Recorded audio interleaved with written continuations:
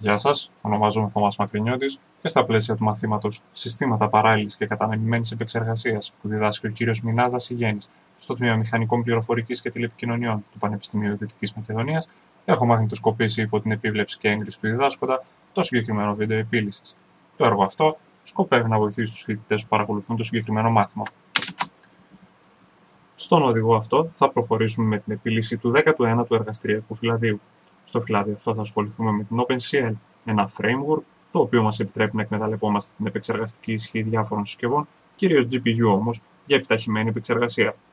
Δεν θα επισέλθουμε σε λεπτομέρειες σχετικά με τη φύση και τη λογική του framework, ωστόσο κρατήστε το γεγονός το ότι θυμίζει σε πολλά τη λογική της CUDA και δικαίως θεωρείται από αρκετού το αντίπαλο δέος.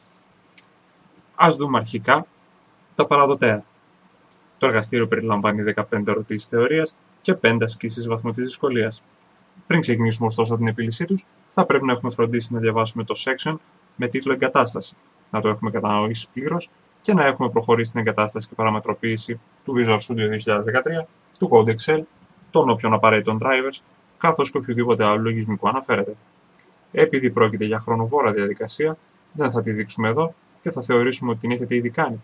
Άλλωστε, κάποια βήματά της μπορεί να αλλάζουν ανάλογα με το hardware του συστήματός σας και θα συνεχίσουμε απευθείας στο πρώτο ερώτημα. Ξεκινώντας λοιπόν το project μας, θα ανοίξουμε αρχικά το Visual Studio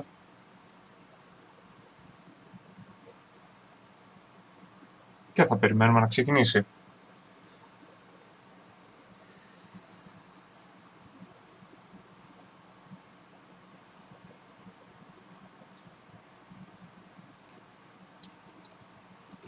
Από το μενού επιλογών λοιπόν, επιλέγουμε το New Project.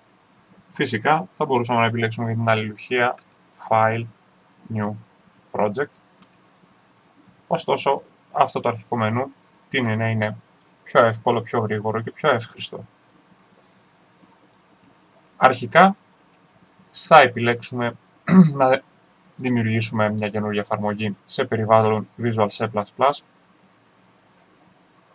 και θα επιλέξουμε το Win32 Console Application. Πρόκειται λοιπόν για μια εφαρμογή κονσόλας η οποία τρέχει σε περιβάλλον Windows σε 32 bit. Θα καθορίσουμε ένα όνομα για την εφαρμογή μας. Για παράδειγμα, το CL Lab 19 μοιάζει να είναι ένα αρκετά ενδεικτικό όνομα. Πατάμε OK και στην πορεία εμφανίζεται ο Application Wizard, στον οποίο πατάμε Next next και τελικά finish αφού αφήσουμε τις επιλογές ως έχει. Βλέπουμε λοιπόν ότι τελικά καταφέραμε να δημιουργήσουμε ένα project στο οποίο φαίνεται αρχικά ε, ένα πρώτο δείγμα του κώδικα μας με μια ενδεικτική main συνάρτηση καθώς επίσης και το παράθυρο του Solution Explorer με όλα τα αρχεία που περιλαμβάνονται προς το παρόν στο project μας. Στο σημείο αυτό μπορούμε να απαντήσουμε την πρώτη ερώτηση βγάζοντας το αντίστοιχο screenshot. Στη συνέχεια θα τροποποιήσουμε κατάλληλα το αρχείο που δημιουργήσαμε ώστε να τυπώνει ένα μήνυμα Hello World. Παρόλο που στο εργαστήριο αυτό δουλεύουμε με C++, η λογική σε ένα απλό πρόγραμμα όπως το Hello World δεν διαφέρει σημαντικά. Ξεκινάμε λοιπόν κάνοντας αυτές τις μικρές τροποποιήσεις που απαιτούνται.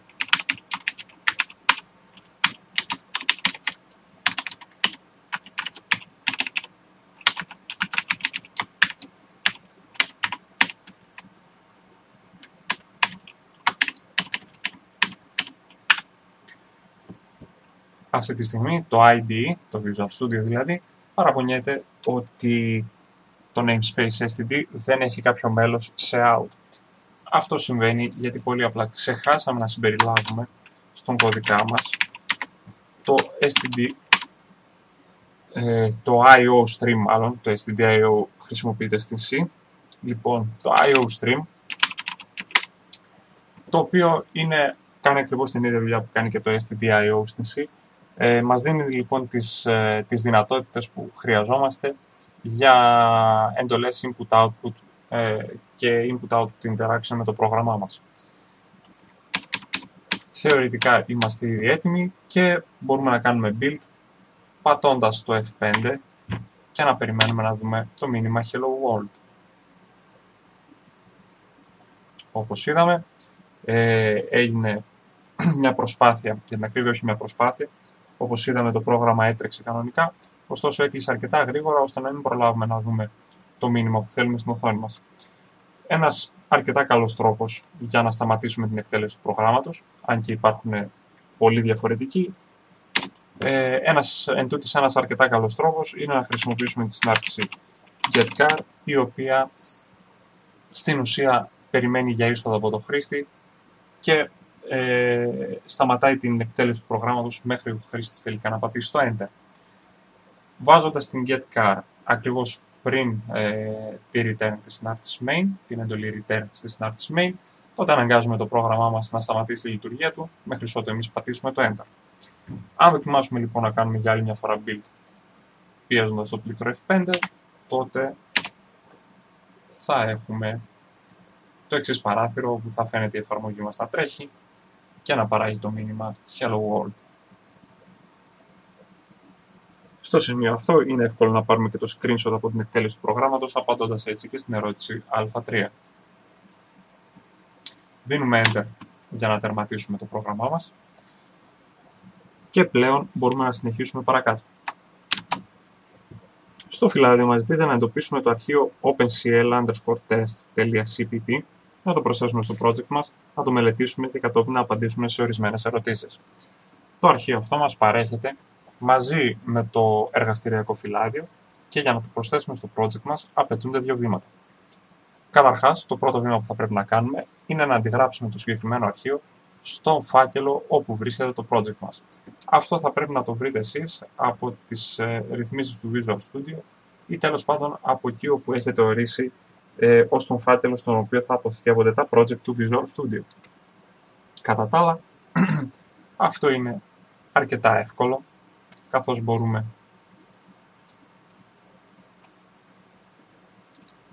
αφού βρούμε το φάκελο στον οποίο βρίσκεται το project μας, να αντιγράψουμε το συγκεκριμένο αρχείο μαζί με τα υπόλοιπα αρχεία του πηγαίου κώδικα.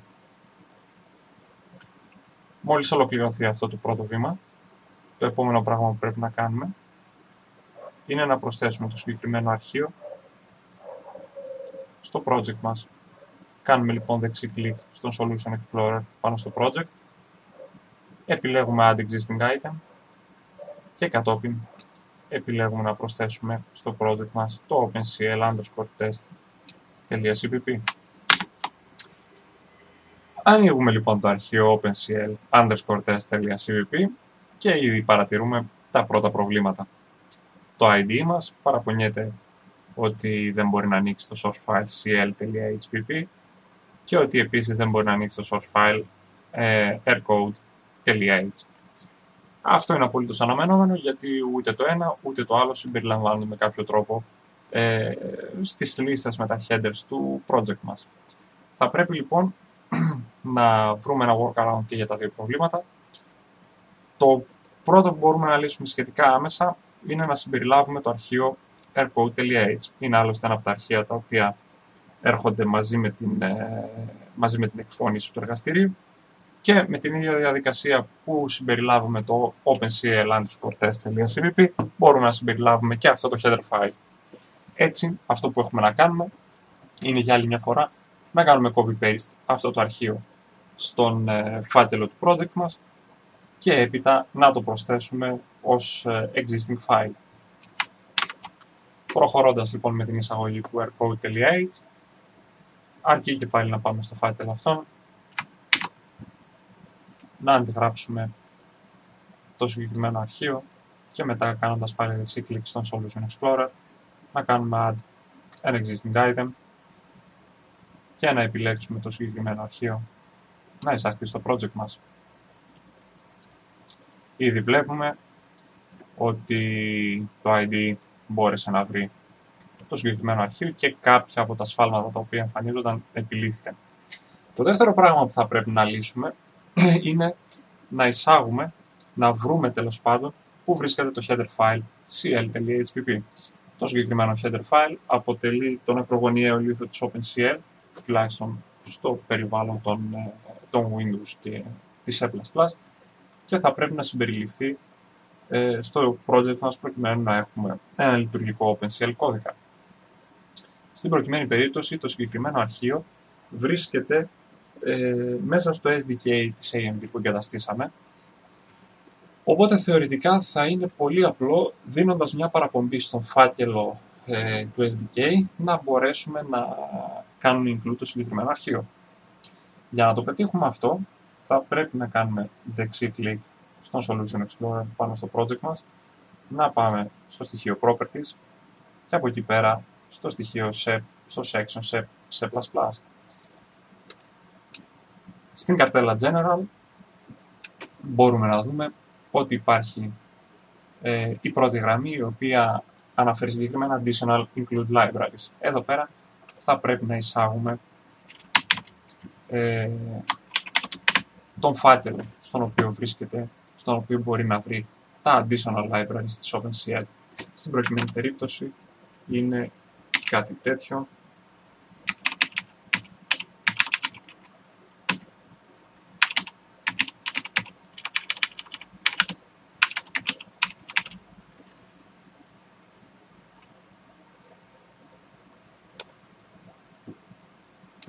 Και ήδη βλέπουμε ότι μετά από την συγκεκριμένη προσθήκη τα λάθη που προέκυπταν από την απουσία του CLHPP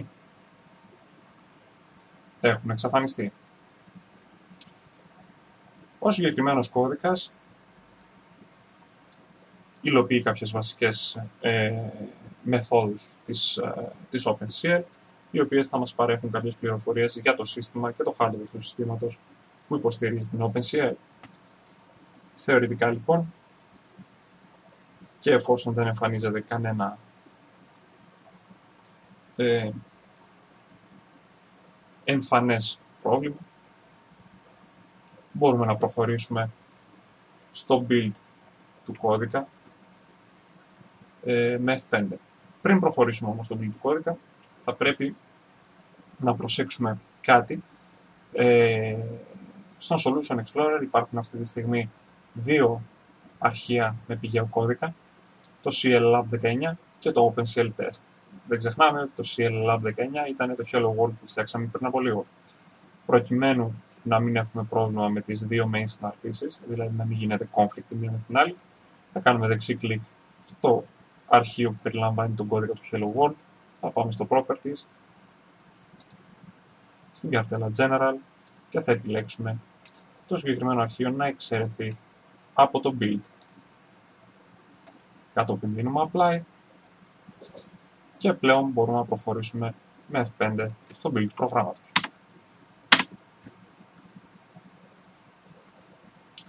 Το Visual Studio μας ενημερώνει ότι προέκυψαν κάποια σφάλματα. Αξίζει να ρίξουμε μια ματιά στο παράθυρο output για να δούμε από που προέκυψαν αυτά τα σφάλματα. Συνολικά μπορούμε να δούμε ότι είχαμε 8 έρος, εκ των οποίων όλα προέρχονται από τον linker. Τα errors έχουν ένα αναγνωριστικό εντός εισαγωγικών, το unresolved external symbol και αναφέρονται στις μεθόδους που χρησιμοποιήσαμε που εφόσον ξεκινάνε όλες με το prefix CL, είναι όλες μεθόδοι της OpenCL. Ε, σωστά, ο linker πετάει αυτά τα λάθη και ο λόγος είναι απλός. Ε, θα πρέπει, εκτός των αλλαγών που δώσαμε μέχρι στιγμής στα properties του project, να προσθέσουμε κάποιους ακόμα φακέλους, στους οποίους μπορεί να βρει επιπλέον βιβλιοθήκες της OpenCL πηγαίνοντας στο Configuration Properties, στην καρτέλα Linker, στο General. Μπορούμε να βρούμε για άλλη μια φορά εδώ πέρα τη γραμμή Additional Library Directories. Και να την αντικαταστήσουμε με κάτι της μορφής.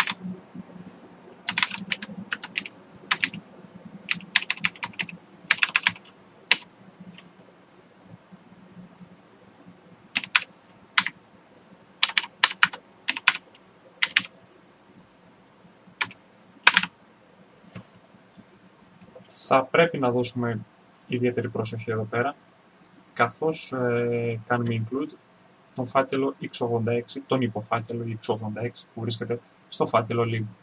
Ε, αυτή τη στιγμή τρέχουμε ένα Win32 application, δηλαδή μια 32 bit εφαρμογή.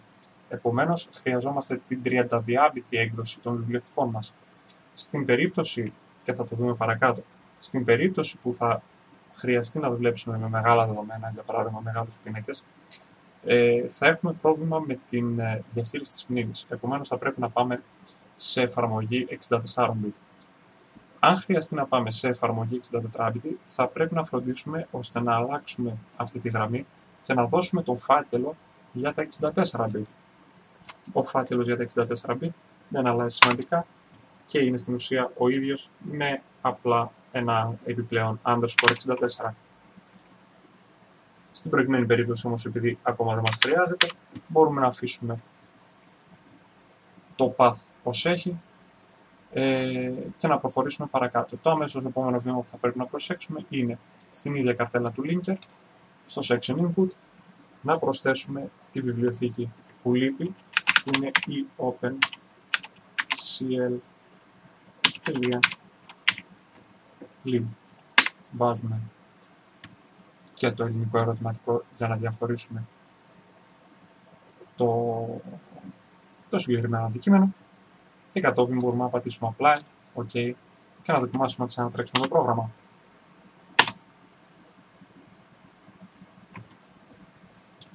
Φυσικά το πρόγραμμα τρέχει με επιτυχία. Μας ενημερώνει τέλος ότι successfully enumerated all devices και μας παρέχει ορισμένες πληροφορίες για το υλικό του συστήματός μας. Στο σημείο αυτό θα ξεκινήσουμε λίγο ανάποδα να απαντάμε τις ερωτήσεις και θα πιάσουμε πρώτα την ερώτηση α7. Λοιπόν, ας πούμε ορισμένα πράγματα για τις πληροφορίες που μας δίνει αυτή τη στιγμή το συγκεκριμένο πρόγραμμα. Μας ενημερώνει καταρχάς ε, για τον αριθμό των platforms. Θα πούμε στην πορεία τι είναι τα platforms και γιατί τα διαχωρίζει έτσι. Καθώς επίσης και για τον αριθμό των, ε, των συσκευών που υπάρχουν ανά platform. Τα Max Compute Units, στην προηγουμένη περίπτωση, αναφέρονται στην ε, συσκευή της κάρτας γραφικών. Βλέπουμε ότι έχει ως όνομα το Pitcairn, είναι μια συγκεκριμένη οικογένεια ASIC ε, που δημιούργησε η AMD. Βλέπουμε ότι ε, οι μέγιστοι πυρήνες που έχει η GPU, γιατί περί αυτού πρόκειται το χαρακτηριστικό Max Compute Units είναι 20. Βλέπουμε ότι το local memory size είναι 32 KB.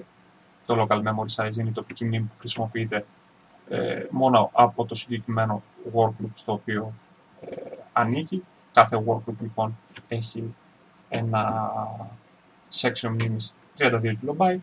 Το global memory size το οποίο είναι 2048 MB και είναι στην ουσία το συνολικό μέγεθος της μνήμης της κάρτας γραφικών, 2 GB συγκεκριμένη το max allocation size, το οποίο είναι 1343 MB και αποτελεί ε, το κομμάτι της μνήμης που μπορούμε να το δεσμεύσουμε ε, με, συνεχό, με συνεχή τρόπο, με συνεχόμενο τρόπο και με μία κλίση στην ουσία. Μπορούμε θεωρητικά να δεσμεύσουμε 1343 MB κατευθείαν με τη μία σε ένα ενιαίο συνεχόμενο χώρο μνήμης. Επίσης, το Max Workgroup Total Size, το οποίο είναι στα 256 και το οποίο ε, μας δίνει ποιος είναι ο μέγιστος αριθμός workgroups που μπορούμε να έχουμε, ενώ το τελευταίο χαρακτηριστικό, το max workgroup dimensions, μας δίνει πόσα workgroups μπορούμε να έχουμε ανά κάθε διάσταση. Όπως και στην CUDA, έτσι και στην OpenCL, μπορούμε να έχουμε ε, νήματα τέλος πάντων κατανεμημένα από μία έως και σε τρεις διαστάσεις προκειμένου να απλοποιούνται περισσότερο ε, σύνθετα υπολογιστικά προβλήματα που εκ των πραγμάτων και εκφύσεως είναι ε, πολύ περιπλοκότερα να αναλυθούν και να υπολογιστούν σε μία διάσταση. Στο σημείο αυτό λοιπόν θα δώσουμε enter για να τερματίσουμε το πρόγραμμά μας και θα προχωρήσουμε με το να απαντήσουμε την ερώτηση α5 ε, η οποία μας ρωτάει στην ουσία να εντοπίσουμε την μεταβλητή size και να εξηγήσουμε γιατί έχει αυτόν τον τύπο. Όπως βλέπουμε εδώ πέρα η μεταβλητή size έχει τον τύπο long long και όπως μπορούμε να δούμε παρακάτω χρησιμοποιείται κυρίως για να εκφράσουμε μονάδες μνήμης. Ε, γνωρίζοντας ότι οι κλήσεις σε συναρτήσεις της OpenCL που έχουν να κάνουν με τις ε, πληροφορίες σχετικά με τη μνήμη των συσκευών επιστρέφουν τον αριθμό της μνήμης σε bytes, μπορούμε να καταλάβουμε εύκολα ότι όταν πρόκειται για αριθμούς της τάξης, για μεγέθη της τάξης των GB, τότε ε, δεν μπορούν να χωρέσουν σε έναν ε, απλό, σε μια απλή μεταβλητή τύπου integer ή τύπου long. Επομένως, χρειαζόμαστε μια μεταβλητή τύπου long long, η οποία μπορεί να χωρέσει τα δύο αριθμούς ε, της τάξης των ε, δισεκατομμυρίων προκειμένου να εκφραστούν ε, επίσης μεγέθη μνήμης της τάξης των GB. Τέλος, και σχετικά με την ερώτηση ε, α4, παρατηρώντας λίγο καλύτερα τον κώδικα, μπορούμε να δούμε ότι ο κώδικάς μας είναι εγκλωβισμένος εντός εισαγωγικών σε μπλοκ ε, με try catch, δηλαδή ε, σε περίπτωση που κάτι πάει στραβά, που κάτι συμβεί λάθος, είναι σχεδιασμένος ώστε να κάνει raise ένα exception. Προκειμένου λοιπόν να ενεργοποιήσουμε τη χρήση των exceptions στο πλαίσιο και στο περιβάλλον ε, του προγραμματισμού σε OpenCL, χρειάζεται να ορίσουμε την διρεκτίβα ε, CL Enable Exceptions ε, με συγκεκριμένο define τέλος πάντων στην αρχή του κώδικα. Μετά από τα εισαγωγικά που συζητήσαμε, καθώς και την προετοιμασία του project μας στο Visual Studio, μπορούμε να αρχίσουμε να γράφουμε σιγά σιγά λίγο δικό μας κώδικα και να μπαίνουμε στο zoom του εργαστηρίου. Αρχικά, και θα χρησιμεύσει και ως βάση για το υπόλοιπο εργαστήριο, μπορούμε να γράψουμε ένα πρόγραμμα το οποίο θα υπολογίζει το γινόμενο δύο πινάκων. Αυτό το πρόγραμμα θα είναι συριακό και θα εκτελείται από τον επεξεργαστή. Προκειμένου να το κάνουμε αυτό, μπορούμε πάλι από τον Solution Explorer να δώσουμε δεξί κλικ πάνω στο πρόγραμμα, να επιλέξουμε Add New Item, C++ File, να το ονομάσουμε Serial.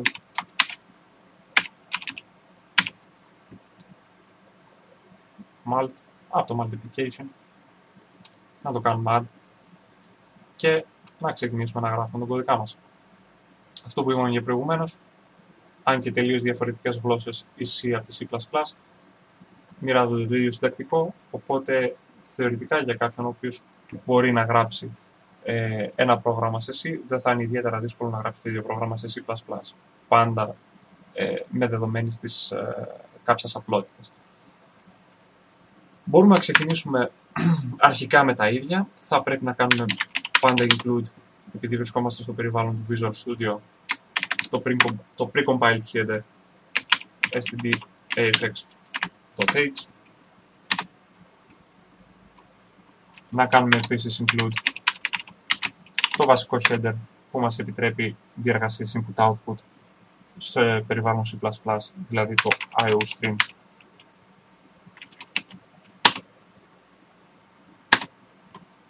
Όπως είπαμε, το πρόγραμμα αυτό θα υλοποιεί ε, τον πολλαπλασιασμό δύο δυσδιάστατων πινάκων και την απόδοση του αποτελέσματος σε έναν τρίτο επίσης δυσδιάστατο πίνακα.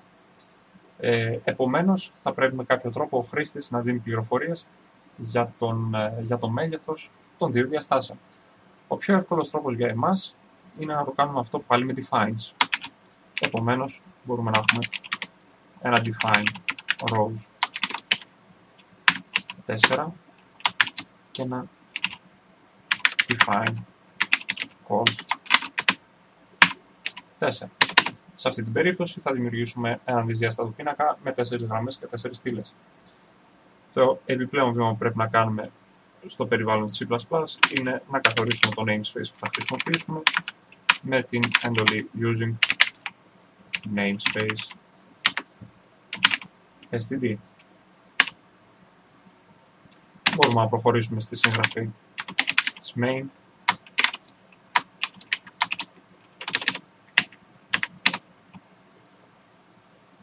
ε, αρχικά ορίζοντας τους δυσδιάστατους πίνακες μας.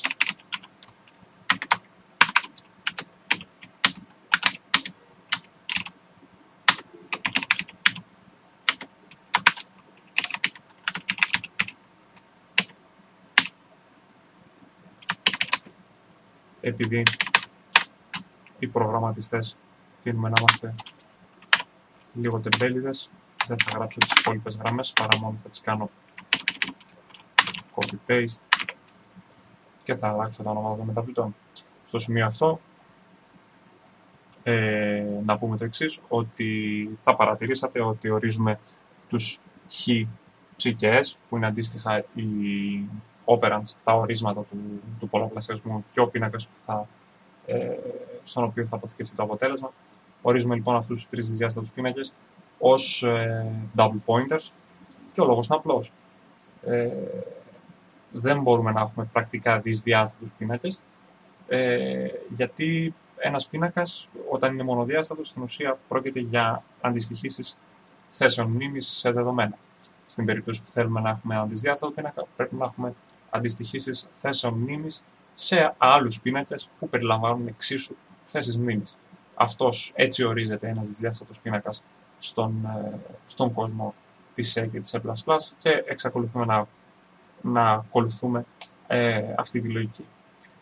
Επομένως, ορίζουμε τους χ με αυτόν τον τρόπο, συνεχίζουμε τον ορισμό των πινάκων γράφοντας ένα loop for το οποίο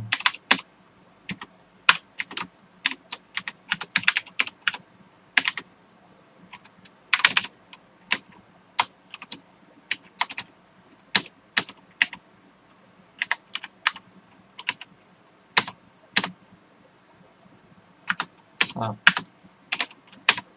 κάνουμε ε, την αρχικοποίηση κάθε στοιχείου να τονίσουμε επίσης σε αυτό το σημείο ότι οι πίνακες μας γεμίζουν με στοιχεία float.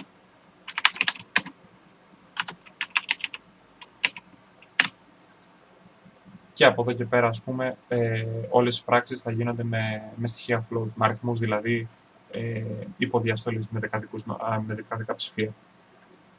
Ε, αφού καταφέραμε να κάνουμε έναν πρώτο ορισμό για τον πίνακα Χ, πάλι με την ίδια λογική της τεμπελιάς. Αντιγράφουμε τη for, αλλάζοντας απλά ε, τις μεταβλητές των πινάκων σε ψ και s. Η λογική δεν αλλάζει. Στο σημείο αυτό, αυτό που μπορούμε να κάνουμε είναι να γεμίσουμε τους πίνακές μας με random τιμές. Μπορούμε να αφήσουμε και ένα σχόλιο.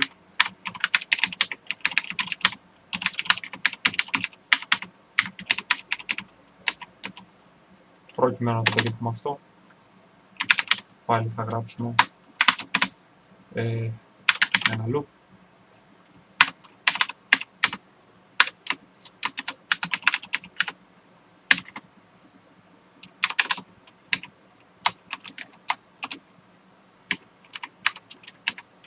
Θα παρατηρήσατε επίση ότι πολύ συχνά χρησιμοποιώ πρώτα το δεξί brace και μετά το αριστερό όταν γράφω κάποια φορή κάποια συνάρτηση. Αυτό συμβαίνει γιατί για άγνωστο λόγο ε, φαντάζομαι το autocorrect του Visual Studio μάλλον δεν λειτουργεί και πολύ καλά και αν επιχειρήσω να βάλω πρώτα το πρώτο brace ε, το ID κολλάει. Το πρόγραμμα κρεμάει και θα πρέπει να ξαναξεκινήσω την αρχή. Στην προηγουμένη περίπτωση λοιπόν συνεχίζουμε ε, γράφοντας τη δεύτερη, το δεύτερο loop.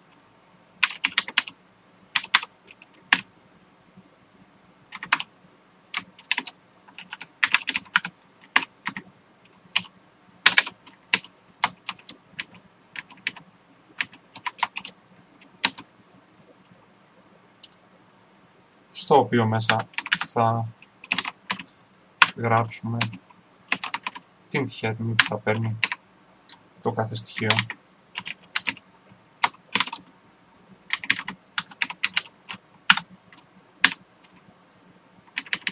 Θα πρέπει να κάνουμε cast τη run max σε float προκειμένου να μην έχουμε προβλήματα και τελικά να αντιγράψουμε την τελευταία αυτή εντολή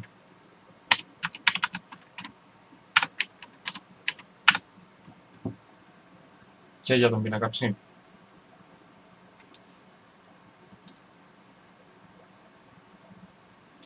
Στο σημείο αυτό, το μόνο που μας έμεινε είναι να κάνουμε τον υπολογισμό της έκφρασης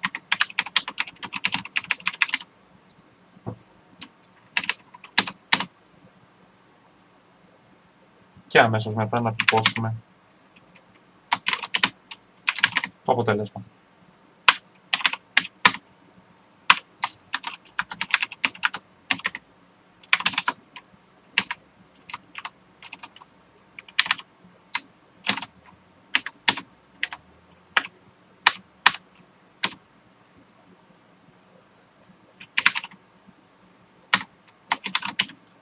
Αυτό που κάνουμε τώρα πρόκειται για μια αρκετά ε, τεμπέλικη και χαζή υλοποίηση του, του πολλαπλασιασμού δύο δυσδιάστατων πινάκων αλλά δεν αποτελεί τίποτα άλλο παρά μια, ένα, ένα σημείο αναφοράς τέλος πάντων ε, πάνω στο οποίο θα βασίσουμε την, ε, την υπόλοιπη δουλειά μας.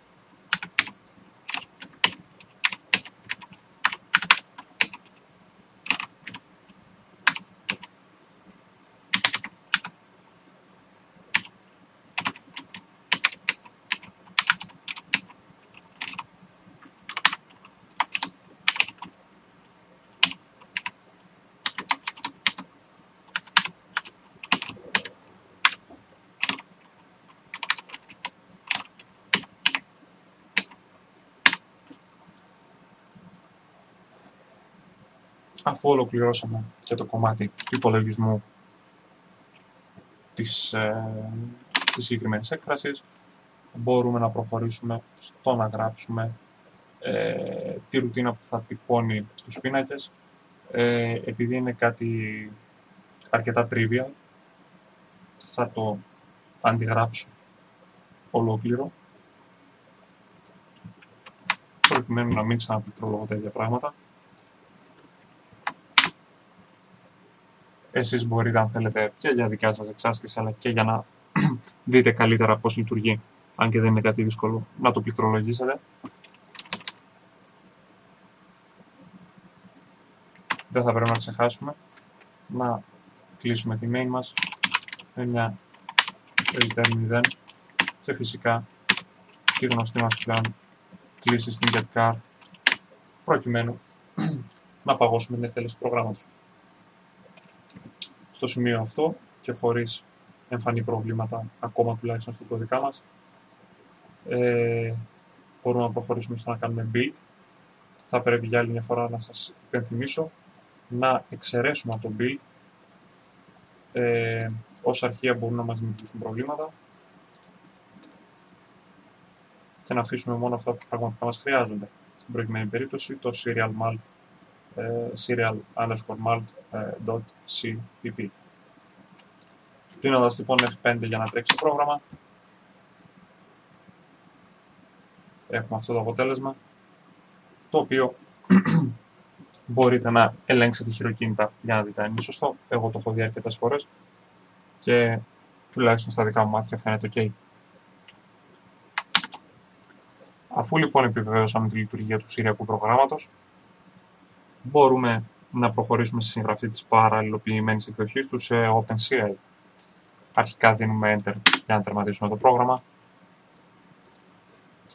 και στην πορεία με τον ίδιο τρόπο θα δημιουργήσουμε ένα νέο αρχείο Κάνοντας λοιπόν Add New Item, επιλέγουμε για άλλη μια φορά ένα αρχείο CVP, ένα αρχείο με πηγαίο κώδικα σε C++ και το ονομάζουμε ε, cl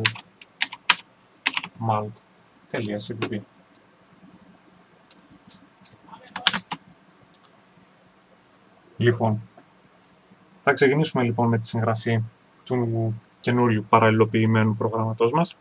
Ε, θα πρέπει ωστόσο λίγο να πούμε μερικά πραγματάκια, ε, επειδή ο κώδικας δίνεται ήδη στο εργαστηριακό φυλάδιο και είναι, όπως θα δείτε και αρκετά εκτεταμένος.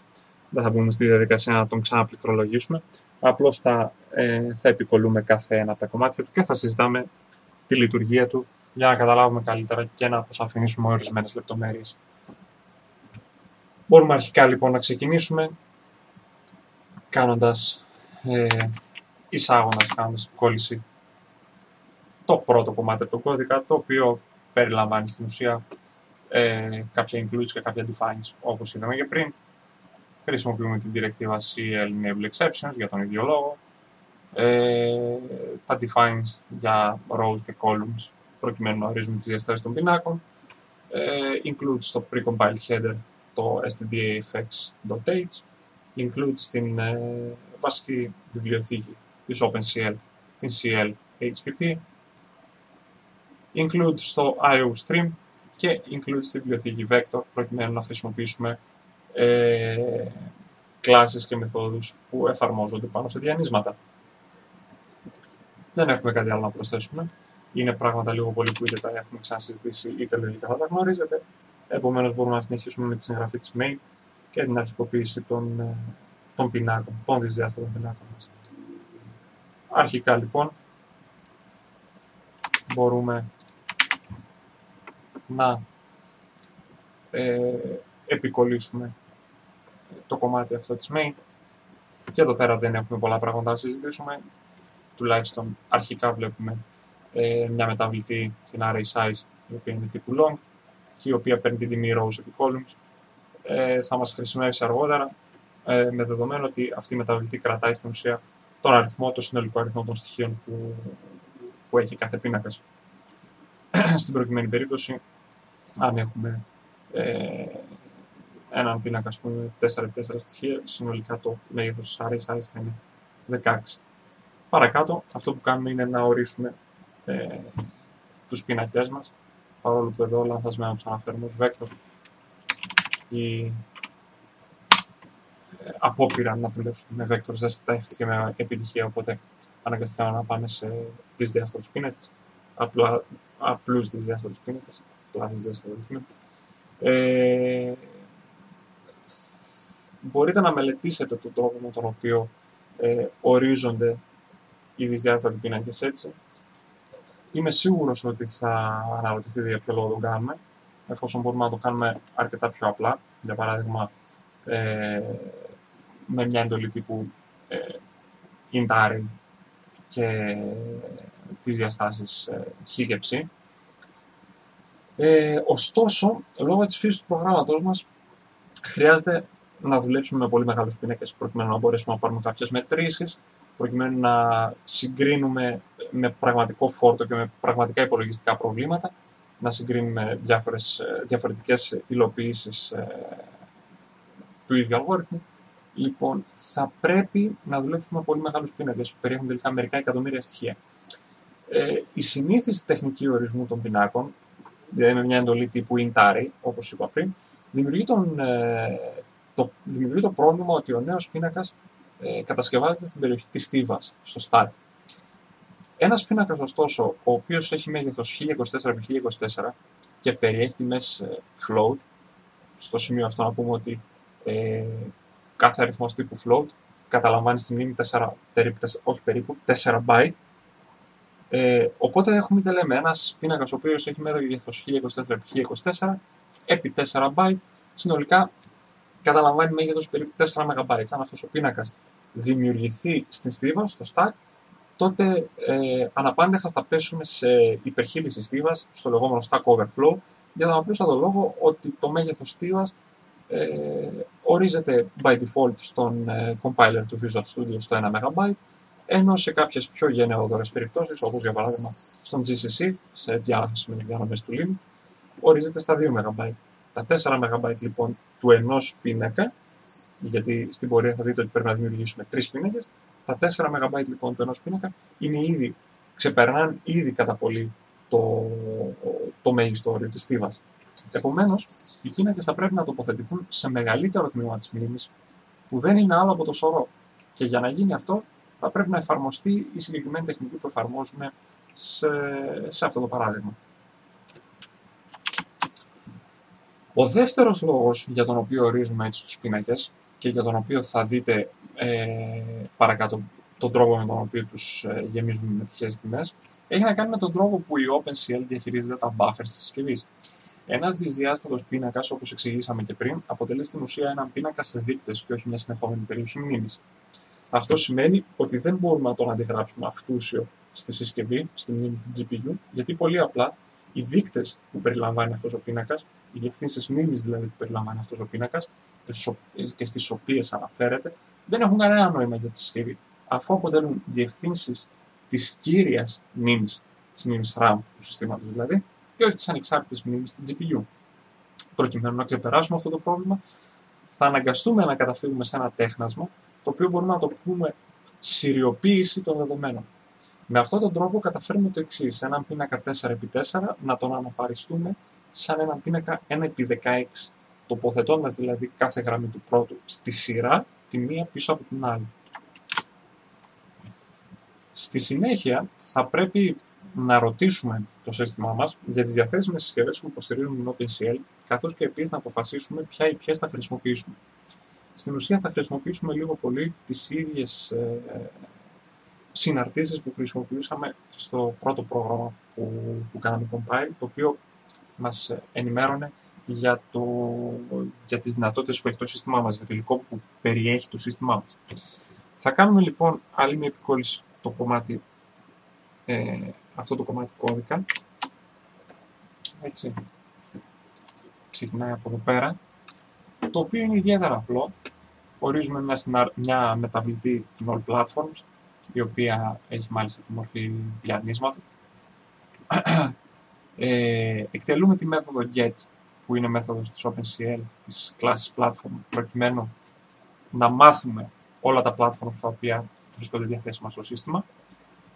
Στην περίπτωση που το μέγεθος του, της All Platforms επιστραφεί και είναι 0, τότε φροντίζουμε να ενημερώσουμε το χρήστη με ένα μήνυμα σφάλματος ότι δεν βρέθηκαν platforms, οπότε θα πρέπει να ελέγξει την εγκατάσταση της OpenCL και κατόπιν σε αυτή την περίπτωση τερματίζουμε το πρόγραμμα με κωδικό τερματισμού 1.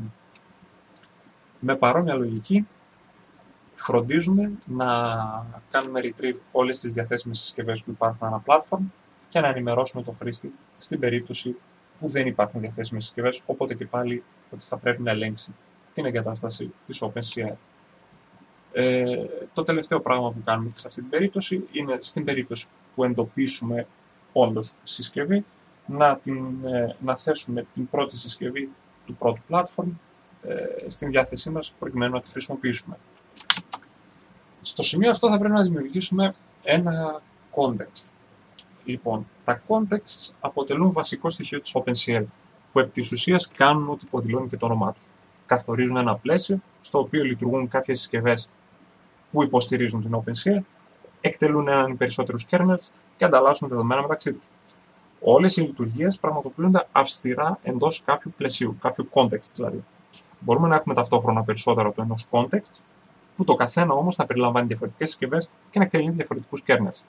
Είναι εύκολα αντιληπτό, κυρίως από τον ορισμό του context, ότι είναι αδύνατη η επικοινωνία συσκευών και διεργασιών που βρίσκονται σε διαφορετικά context. Έχουν υπάρξει περιπτώσεις όπου με διάφορα τεχνάσματα, διάφορα πειράματα τέλος πάντων, κάποιοι κατάφεραν να πετύχουν επικοινωνία μεταξύ συσκευών και διεργασιών που βρίσκονται σε διαφορετικά context. Αυτό ωστόσο δεν είναι ο κανόνας, δεν χρησιμοποιείται αυτή τη στιγμή ε, από κάποιον που θέλει να γράφει σταθερό και σοβαρό OpenCL κώδικα και μέχρι ότου να υπάρξει κάποιο standardization σε αυτή τη διαδικασία, εμείς θα φροντίσουμε να μην το υλοποιούμε. Έτσι λοιπόν, θα επικολλήσουμε το κομμάτι του κώδικα που ευθύνεται για τη δημιουργία του context και θα το τροφοδοτήσουμε με την default device, δηλαδή την πρώτη συσκευή του πρώτου platform που βρίσκεται στο σύστημά μας. Στο σημείο αυτό ήρθε η ώρα να προσαρτήσουμε το κομμάτι του kernel Ε, το κομμάτι δηλαδή που είναι υπεύθυνο για τους υπολογισμούς.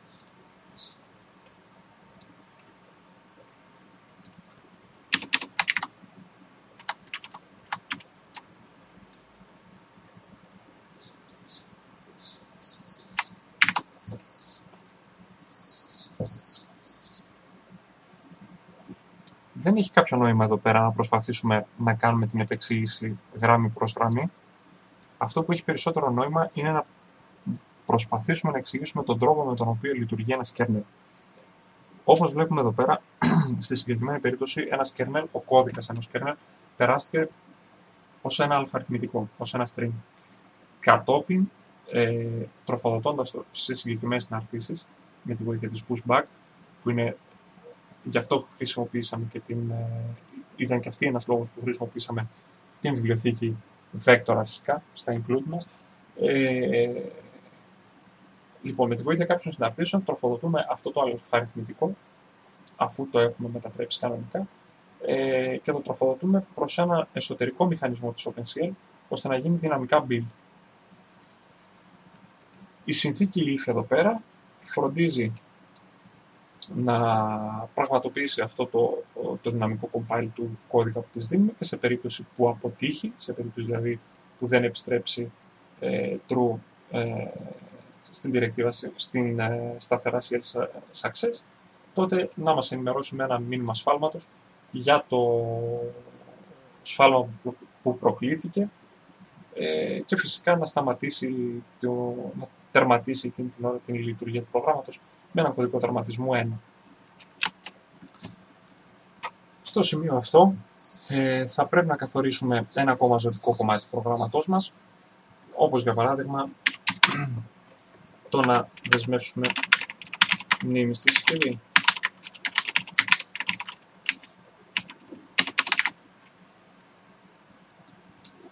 Και εδώ πέρα τα πράγματα από άποψη κατανόησης κώδικα είναι σχετικά απλά.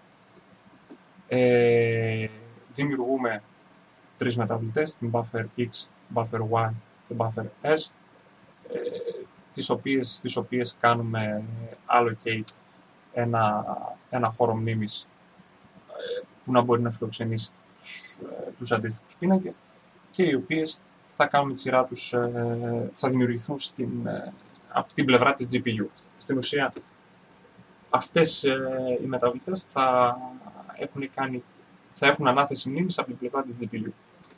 Ε, αμέσως μετά παρακάτω δημιουργούμε ένα queue, μια ουρά στην ουσία, στην, η οποία θα συριοποιεί όλες τις εντολές, όλες τις εντολές που υπάρχουν μέσα στο context και θα φροντίζει με αυτές να τροφοδοτεί το default device, δηλαδή την GPU. Ε, αμέσως μετά παρακάτω, αυτό που κάνουμε είναι να αντιγράψουμε τους πίνακες που δημιουργήσαμε, τους πίνακες Χ και Ψ, στη συσκευή, αφού πρώτα δηλαδή έχουμε δεσμεύσει μνήμη με τα buffers, να αντιγράψουμε μετά τους πίνακες Χ και Ψ από τον host στη συσκευή. Στο σημείο αυτό θα πρέπει να πούμε ότι μέχρι εδώ ήταν και το boilerplate του, του προγράμματός μας. Τι εννοούμε με αυτό; Ε, αν και αρχικά ο κώδικας της OpenCL μπορεί σε κάποιους να φάνηκε περίπλοκος ή δύσκολος ή αρκετά εκτεταμένος, Μέχρι εδώ είναι το στάνταρ κομμάτι κώδικα το οποίο περιλαμβάνεται αναπόφευκτα με μικρές ή μεγάλες παραλλαγές, εν πάση περιπτώσει, σε κάθε πρόγραμμα OpenCL.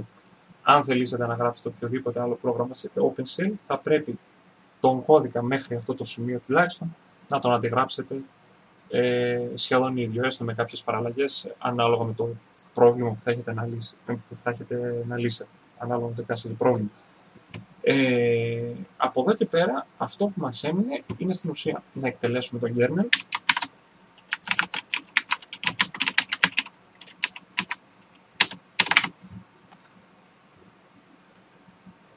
θα πρέπει να φροντίσουμε ε, εδώ πέρα ξεχάσαμε να το διορθώσουμε ότι θα πρέπει να φροντίσουμε ότι το όνομα τόσο στον kernel εδώ πέρα στην συνάρτηση μέσα όσο και εδώ στην, ε, στην κλίση του, στην κλίση εκτέλεσής του, θα πρέπει να είναι το ίδιο.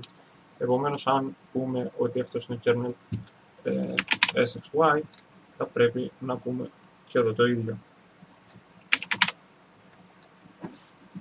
Κατά τη διάρκεια της, ε, της εκτέλεσής του, θα πρέπει να τον τροφοδοτήσουμε με τα απαραίτητα arguments, ε, τα οποία οφείλουν να βρίσκονται στην, στη συσκευή, στην GPU εν προκειμένου, που θα είναι ε, το μηδενικό argument του buffer x, το πρώτο argument το buffer y και το δεύτερο argument, το τρίτο αριθμητικά, το buffer s. Αμέσως μετά καλούμε την, ε, βάζουμε τον kernel στην queue προκειμένου να εκτελεστεί και περιμένουμε την εκτέλεση του πρακτικά. Μία ερώτηση η οποία, η οποία υπάρχει για α8 μας ε, ρωτάει για τον ε, ρόλο τον οποίο εξυπηρετεί η παράμετρος ε, CLND range 64. Πρακτικά η παράμετρος CLND range μας δημιουργεί, μας, ε, δημιουργεί το, το μέγεθος του, του global workgroup, το, του global workgroup που θα έχουμε. Στην ουσία δηλαδή σε πόσα, πόσα νήματα συνολικά θα χρησιμοποιήσει η κάρτα γραφικών για να πραγματοποιήσει τους, ε, τους συγκεκριμένους υπολογισμούς. Εμείς εδώ πέρα έχουμε αποφασίσει να δημιουργήσουμε ένα global workgroup με μέγεθος 64. Στην ουσία η κάρτα γραφικών μας θα χρησιμοποιήσει 64 νήματα προκειμένου να πραγματοποιήσει ε, αυτόν τον υπολογισμό. Το τελευταίο πράγμα που έχουμε να κάνουμε εδώ είναι να διαβάσουμε πάλι το αποτέλεσμα από την GPU και να το μεταφέρουμε στον host. Διαβάζουμε δηλαδή τον buffer S και το μεταφέρουμε στον πίνακα HS και να τυπώσουμε ε, τα αποτελέσματα του, του πολλαπλασιασμού. Μπορούμε αρχικά, προκειμένου να έχουμε κάτι εύκολο, να βάλουμε έναν πίνακα 4x4, ώστε να μπορούμε να επαληθεύσουμε αυτά τα αποτελέσματα με το χέρι. Πριν κάνουμε οποιαδήποτε εκτέλεση, δεν θα πρέπει να ξεχάσουμε να τερματίσουμε τη main με return 0 και να χρησιμοποιήσουμε για άλλη μια φορά τη γνωστή μας getcar προκειμένου να παγώσουμε την εκτέλεση του προγράμματος. Δίνοντας λοιπόν F5 πέφτουμε σε build errors και φυσικά είναι το γνωστό μας πρόβλημα το ότι αμελήσαμε να εξαιρέσουμε την συριακή εκδοχή του προγράμματος από το build. Οπότε έχουμε conflict, όπως φαίνεται και εδώ, στο ότι χρησιμοποιείται δύο φορές η main, καλύπτει δύο φορές η main. Για να δώσει ξανά F5, το πρόγραμμα εκτελείται κανονικότατα.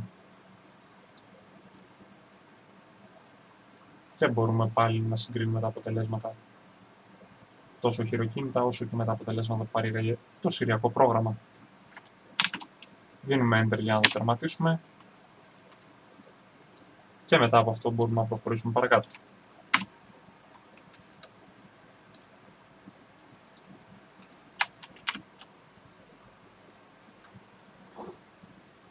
Πρόγραμμα που μόλις δημιουργήσαμε είδαμε την υλοποίηση ενός kernel με έναν όχι και τόσο βολικό τρόπο. Επειδή ήταν σχετικά μικρή και απλή στην άρτηση που υλοποιούσε, μπορούσε να γραφτεί και μέσα στο host πρόγραμμα ως σύμβολο σειρά και κατόπιν να γίνει compile και να τροφοδοτηθεί στη συσκευή. Για μεγαλύτερους και πιο πολύπλοκους kernel είναι αρκετά βολικό να περιλαμβάνει το κώδικά τους σε ένα ξεχωριστό αρχείο, τόσο για να διευκολύνει το debugging, όσο και για να διατηρείται μια οργάνωση στον κώδικα. Διαχωρισμός του κώδικα που εκτελείται αποκλειστικά στο host δηλαδή, από αυτό που εκτελείται αποκλειστικά στις συσκευές. Ε, πάμε λοιπόν να προσπαθήσουμε να λύσουμε την άσκηση 3 τροποποιώντας κατάλληλα το προηγούμενο πρόγραμμα, ώστε ο kernel να περιλαμβάνεται σε ξεχωριστό αρχείο και να φορτώνεται από εκεί. Το αρχείο αυτό θα έχει όνομα sxy kernel.cl. Επίσης έχουμε η άσκηση 3 στην εκφώνησή της, μας δίνει μια συμβουλή. Μας δίνεται το αρχείο util.hpp, το οποίο μας ε, ζητά να το μελετήσουμε και να δούμε πώς μπορεί να μας βοηθήσει. Προκειμένου λοιπόν να ξεκινήσουμε και να υλοποιούμε την έκδοση του προγράμματός μας, θα πρέπει αρχικά να δημιουργήσουμε ένα καινούριο αρχείο, το οποίο θα το ονομάσουμε sxykernel.cl. Για να δημιουργήσουμε αυτό το αρχείο, κάνουμε τη γνωστή διαδικασία add new item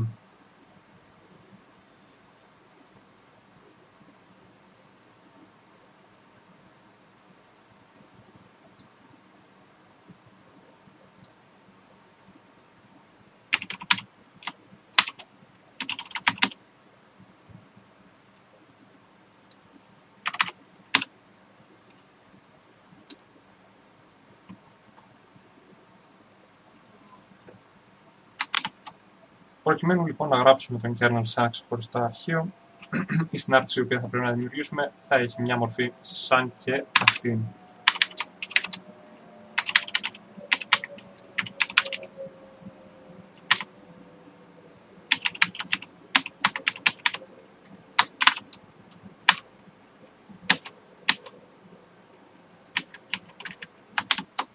Η συνάρτηση του kernel λοιπόν θα είναι κάπως έτσι.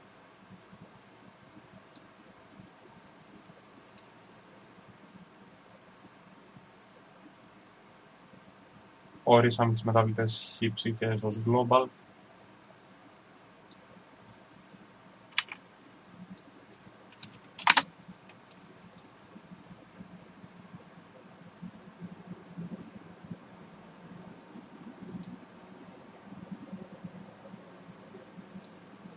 Πλέον μπορούμε να κάνουμε save και να προχωρήσουμε στο επόμενο βήμα, το οποίο θα είναι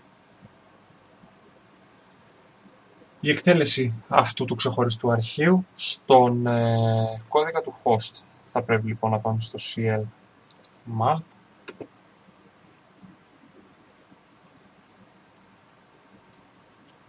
και κάπου εδώ θα πρέπει πλέον να εισάγουμε την βιβλιοθήκη που μας συμβούλεψε και η εκφώνηση της άσκησης. Θα κάνουμε λοιπόν ένα include util.hpp να αντιγράψουμε.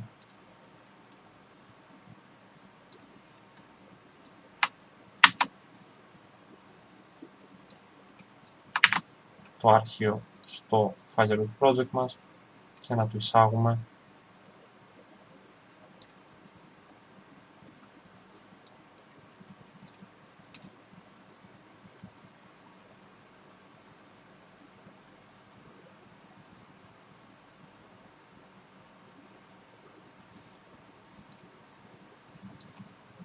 μπορούμε να το μελετήσουμε κιόλας.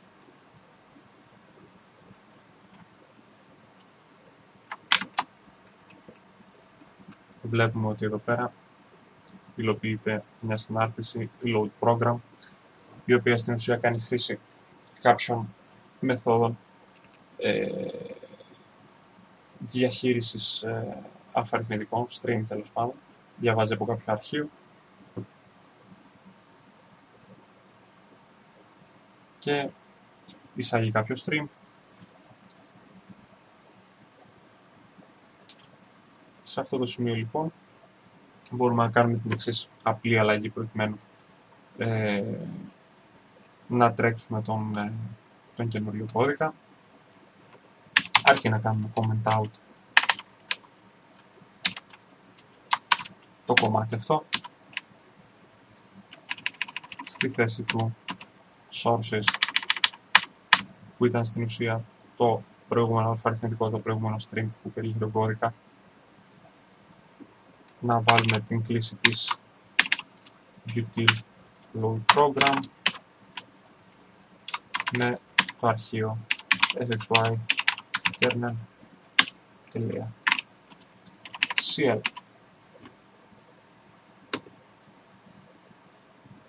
Στην προηγουμένη περίπτωση αυτό πρέπει να φτάνει ε, ώστε να μπορέσουμε να κάνουμε build και να έχουμε ένα, ένα λειτουργικό πρόγραμμα.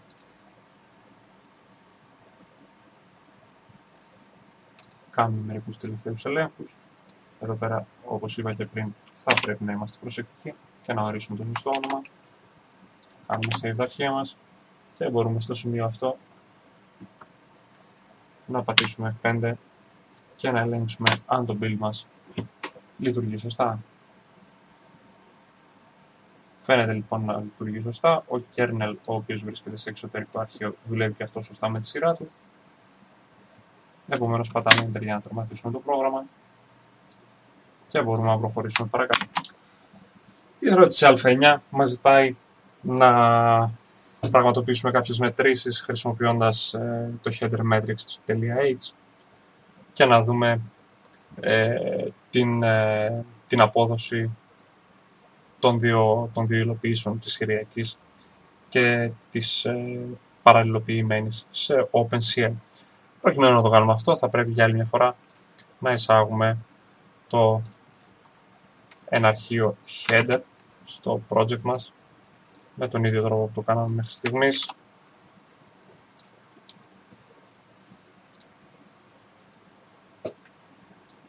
Για άλλη μια φορά add existing item. το αρχείο metrics μπορούμε να του ρίξουμε μια ματιά. Βλέπουμε ότι υλοποιεί δύο συναρτήσεις, τη start counter και την get counter. Η start counter ξεκινάει ένα μετρητή, η get counter ε, φροντίζει να μας ε, ενημερώσει για την τιμή του μετρητή τη στιγμή που την καλέσαμε.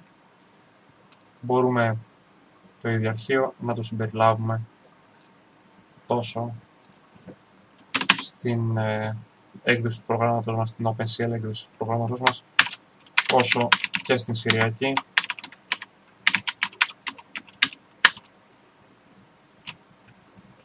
Αυτό είναι το ένα κομμάτι και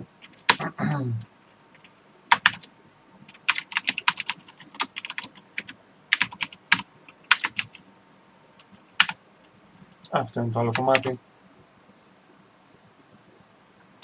Εμάς αυτό που μας ενδιαφέρει είναι θα μετρήσουμε αρχικά το Συριακό ε, ούτως ώστε να ξέρουμε σε πώς κυμαίνεται η απόδοση του Συριακού προγράμματος αυτό που μπορούμε να κάνουμε, καταρχάς αυτό που μας ενδιαφέρει είναι να μετρήσουμε μόνο το, μόνο το κομμάτι του υπολογισμού και όχι το κομμάτι της ε, δέσμευσης μνήμης του print ας πούμε. Ε, μπορούμε να βάλουμε εδώ ένα σχόλιο για να ξεχωρίζουμε. Οπότε αφού κάναμε include το metrics.h μπορούμε εδώ να καλέσουμε την start counter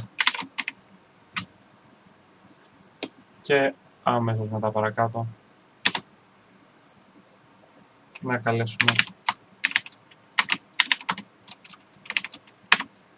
την get counter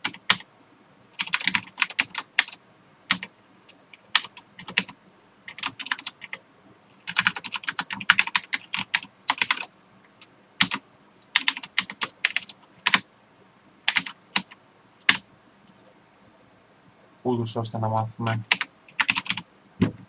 ε, το χρόνο εκτέλεσης. Αυτή είναι η έντολη. Για άλλη μια φορά θα πρέπει να παίξουμε με το ποια αρχεία θα συμπεριληφθούν στο build και ποια όχι. Προς το παρόν και αφού θα δουλέψουμε με το Συριακό δεν χρειαζόμαστε τίποτα άλλο.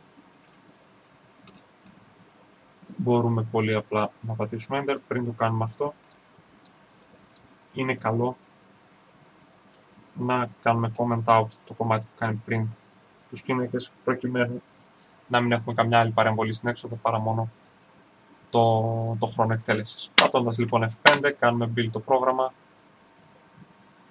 Ο χρόνος εκτέλεσης είναι μερικά χιλιοστά του millisecond και είναι απολύτως φυσιολογικό. Έχουμε άλλωστε να πολλαπλασιάσουμε 16x16 στοιχεία. Δεν είναι κάτι ιδιαίτερο.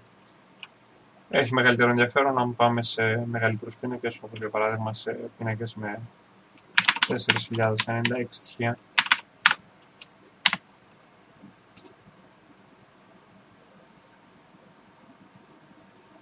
Ναι, όπου ε, πρέπει να πούμε το εξής ότι ο χρόνος μας επιστρέφει σε μιλισεκόν.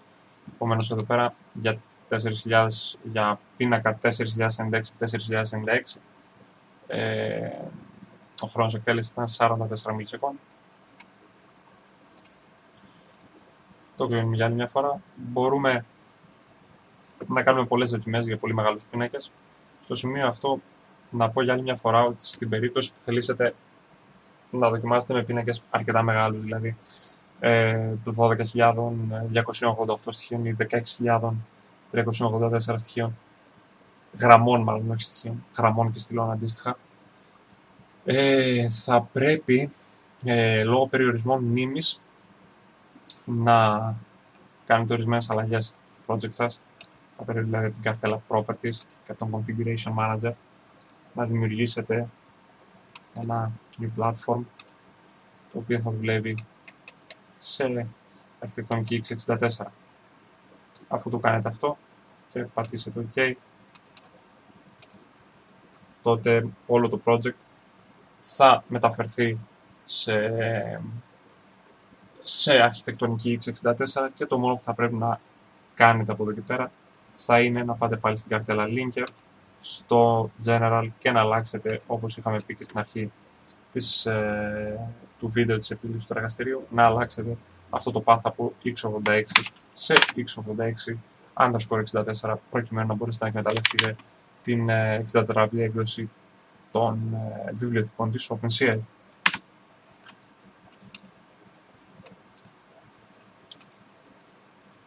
Πήραμε μια πρώτη γεύση από την ε, ταχύτητα εκτέλεσης του Συριακού προγράμματος.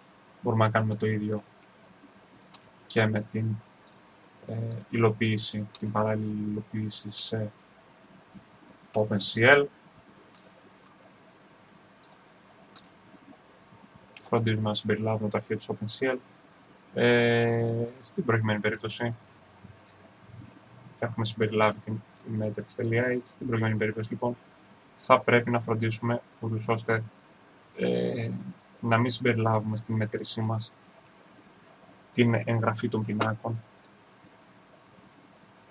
ή τη δέσμευση της μνήμης, γιατί είναι διαδικασίες οι οποίες παίρνουν, είναι αρκετά χρονοβόρες, παίρνουν αρκετά μεγάλο χρόνο και θα μας ε, βγάλουν, αν μη τι άλλο, ψευδή αποτελέσματα σχετικά με την εκτέλεση του kernel. Λοιπόν, πριν εκτελέσουμε τον kernel, μπορούμε να τρέξουμε την start counter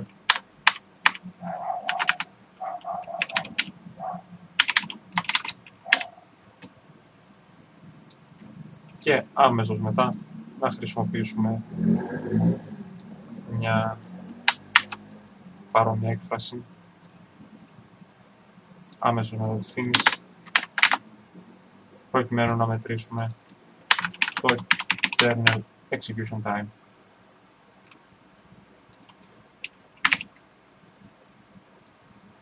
Για άλλη μια φορά, δίνουμε F5, κάνουμε build βλέπουμε ότι για 16 στοιχεία χρειαζόμαστε περίπου 2,39 μιλισεκόντ, αρκετά μεγάλος χρόνος σε σχέση με την συριακή υλοποίηση. Αυτό έχει μια πολύ καλή ερμηνεία, μπορούμε να τη συζητήσουμε αργότερα, αφού πρώτα δούμε όμως για λίγο μεγαλύτερες ε, για λίγο πιο περίπλοκα υπολογιστικά προβλήματα την ταχύτητα της υλοποίησης για άλλη μια φορά. Ναι, φυσικά κάναμε το λάθος να, ε, να μην κλείσουμε όπως κάναμε αντίστοιχα στο Συριακό το, το κομμάτι, τη ρουτίνα που τυπώνει το αποτέλεσμα και ως εκ τούτου είχαμε αυτό το πρόβλημα. Μπορούμε να την κάνουμε comment out, θα δώσουμε για άλλη μια φορά F5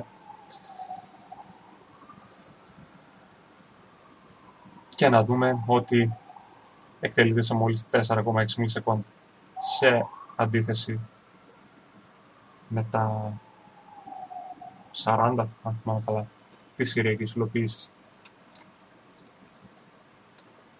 Γενικά μπορείτε να πειραματιστείτε με πολλά διαφορετικά μεγέθη πινάκων.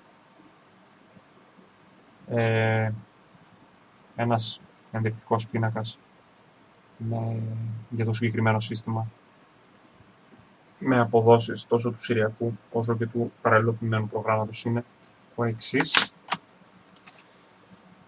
Ένας ενδεικτικός πίνακας λοιπόν με μετρήσεις για το συγκεκριμένο σύστημα είναι ο εξής. Βλέπουμε ότι ε, για 8x8, 64x64 και 256x256 η Συριακή υλοποίηση της CPU είναι εξαιρετικά καλύτερη από την GPU. Φυσικά, από εδώ και πέρα, η GPU αρχίζει να δείχνει τα δόντια της. Αυτό φυσικά έχει μια πάρα πολύ καλή εξήγηση. Ε, προκειμένου να μπορέσει να ξεκινήσει η GPU και να αρχίσει να κάνει κάποιους υπολογισμούς, χρειάζεται περίπου 2 μιλισεκόντ. Επομένως, για οποιονδήποτε υπολογισμό ε, απαιτούνται λιγότερα από 1,8-1,9 μιλισεκόντ, η GPU αποδεικνύεται αρκετά αργή. Ωστόσο, βλέπουμε ότι για μεγάλους πίνακες, φέρει για 8192 και 8192, η GPU αποδεικνύεται έως και 6,5 φορές ταχύτερη. Στο σημείο αυτό βλέπουμε ένα πολύ ενδιαφέρον ε, παράδοξο ότι για εξαιρετικά μεγάλους πίνακες όπως 16384-16384 η GPU είναι σημαντικά πιο αργή από, την, ε, από τον επεξεργαστή και αυτό έχει, ε, έχει μια πολύ μεγάλη λογική ε, η οποία είναι η εξής.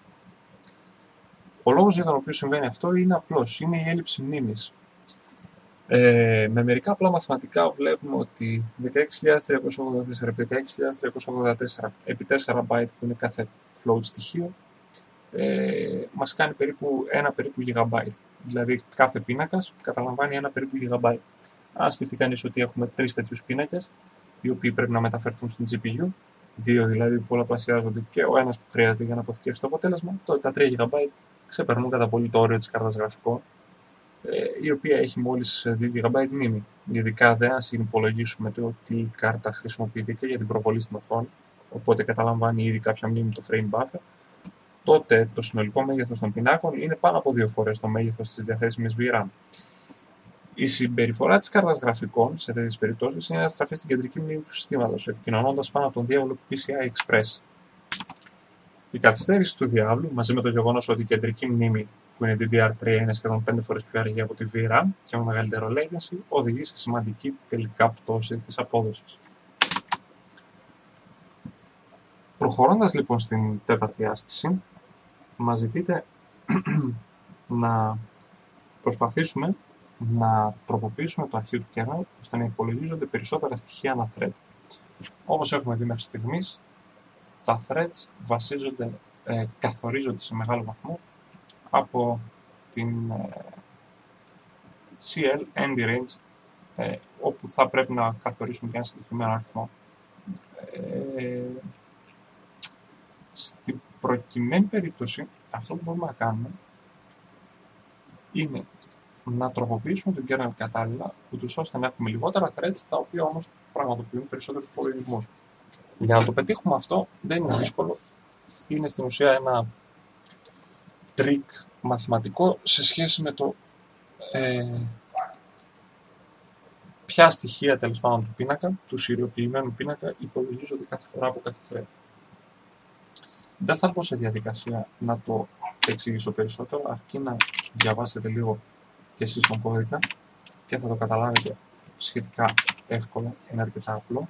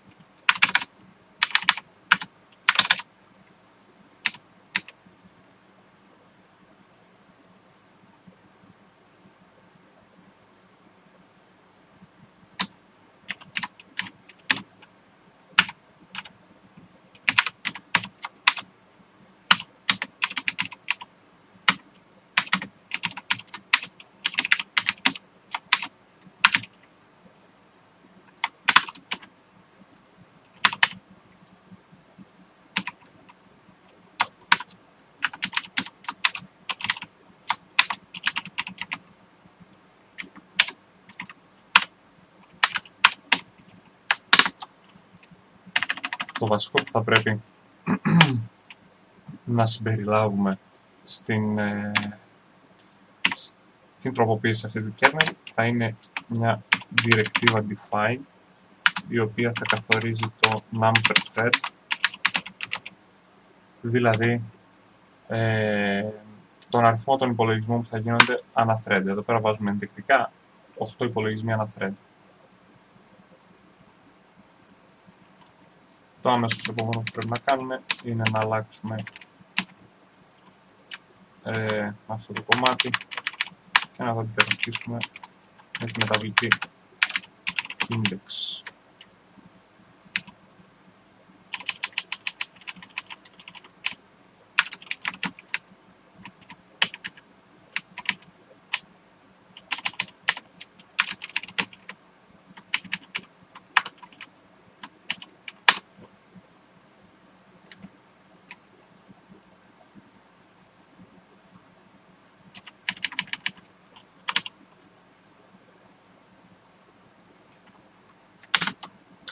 Πρέπει να προσέξουμε το εξής ότι από τη στιγμή που είπαμε ότι κάθε thread θα ικανοποιεί 8 υπολογισμούς, θα πρέπει να τροποποιήσουμε κατάλληλα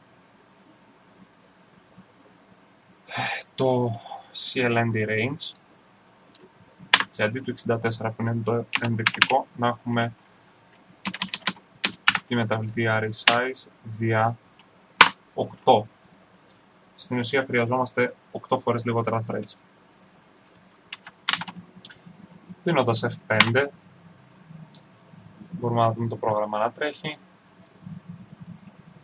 Ο συνολικός χρόνος εκτέλεσης είναι περίπου 6,9 ms. Δίνουμε Enter για να τερματίσουμε το πρόγραμμα.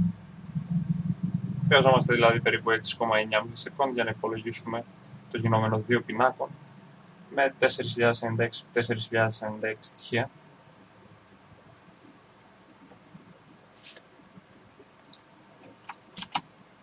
Μπορούμε να πειραματιστούμε με,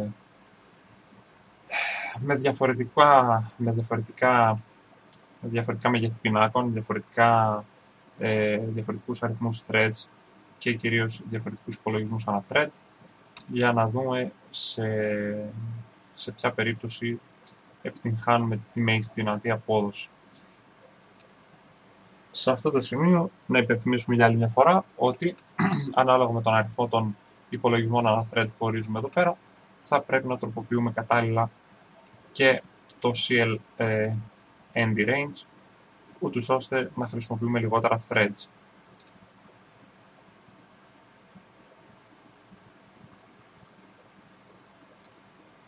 Στο σημείο αυτό μπορούμε να προχωρήσουμε στην, ε, στο επόμενο section του εργαστηρίου όπου θα δούμε μερικά πράγματα σχετικά με τη χρήση του AMD Code Excel. Προχωρώντας λοιπόν στο 8ο κομμάτι του εργαστηρίου, όπου θα συζητήσουμε για τη χρήση του AMD Code Excel, ε, μπορούμε να πούμε μερικά πράγματα σχετικά ε, εισαγωγικά τέλος πάντων σε αυτό το κομμάτι.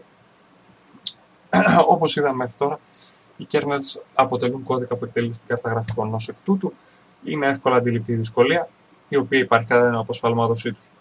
Για αυτό το λόγο μπορούμε να χρησιμοποιήσουμε ένα εργαλείο που μας παρέχει η AMD, ονομάζεται Code Excel, και το οποίο μας δίνει πληθώρα δυνατοτήτων όπως η εισαγωγή breakpoints στον κώδικα των kernel, profiling του κώδικα, αλλά και ανάλυση εκτέλεσης του προγράμματος παρέχοντας μας ορισμένες χρήσιμες πληροφορίες σχετικά με τον, ε, με τον kernel που γράψαμε και που εκτελέσαμε. Αρχικά, αυτό που μπορούμε να κάνουμε είναι από το μενού Code Excel του Visual Studio να επιλέξουμε το Analyze Mode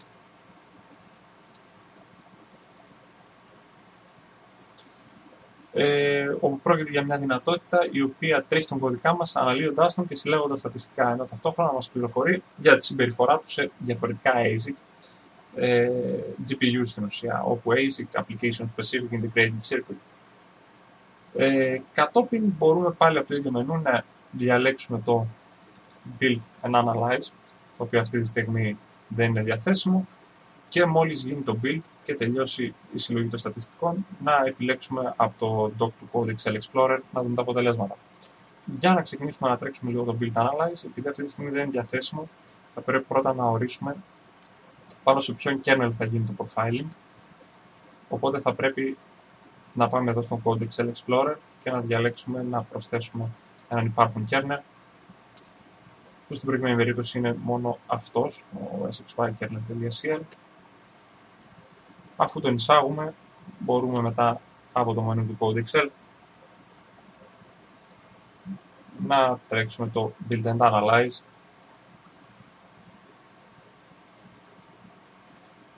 Και αφού ολοκληρωθεί μπορούμε να δούμε τα αποτελέσματα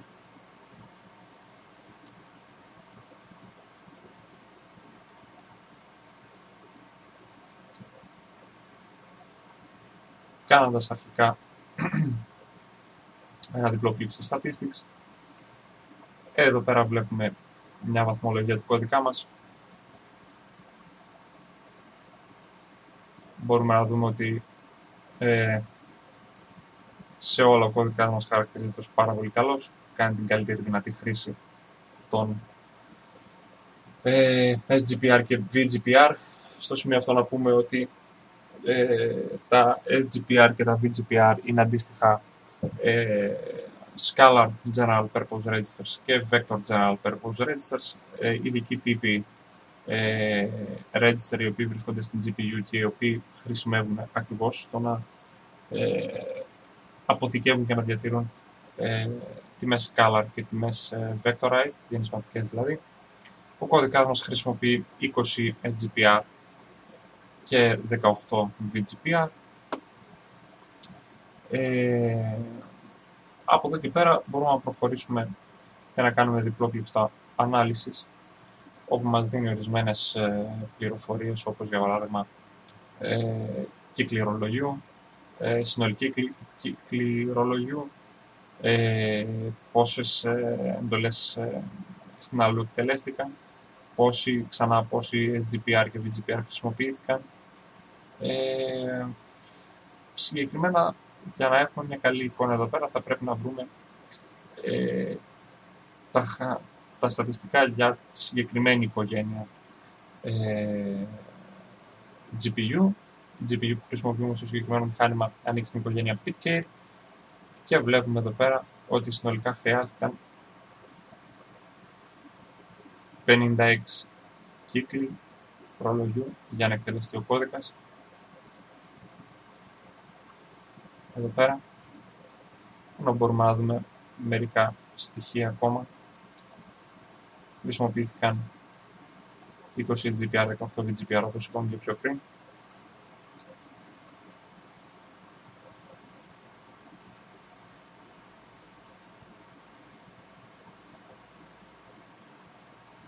Μπορούμε να δούμε επίσης από το αντίστοιχο αυτό κομμάτι ορισμένα πράγματα για τον kernel μας. Μπορούμε εδώ να δούμε ότι μεταφράζεται σε περίπου 145 γράμμες assembly.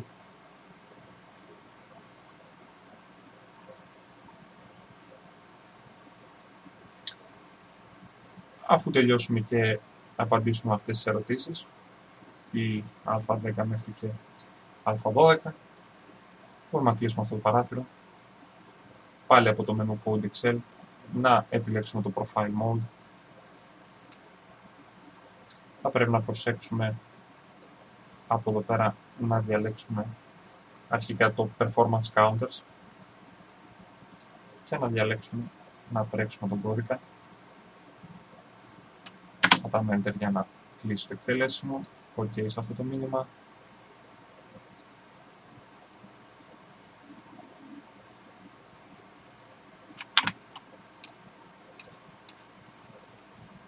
όπως βλέπουμε εδώ πέρα μας εμφανίζει κάτι αντίστοιχο με την εικόνα που φαίνεται στο εργαστηριακό φυλάδιο. Με βάση τις πληροφορίες που επιστράφηκαν, μπορούμε να βρούμε το χρόνο που απαιτήθηκε για την εκτέλεση του kernel ο οποίος είναι περίπου 1,36 millisecond. Μπορούμε επίσης να δούμε το ποσοστό ε, της CPU που καταλάμβανε ο kernel. Να κάνουμε ένα κλικ πάνω σε αυτό το νούμερο και να πάρουμε και ορισμένα διαγράμματα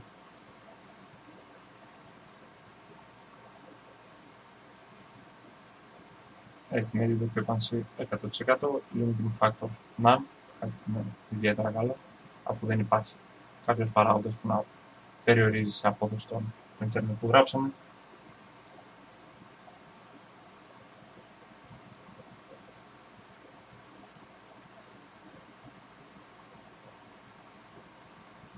Τέλος, κλείνοντας αυτό το παράθυρο, αυτό που μπορούμε να δούμε είναι να επιλέξουμε από εδώ πέρα το Application Timeline Trace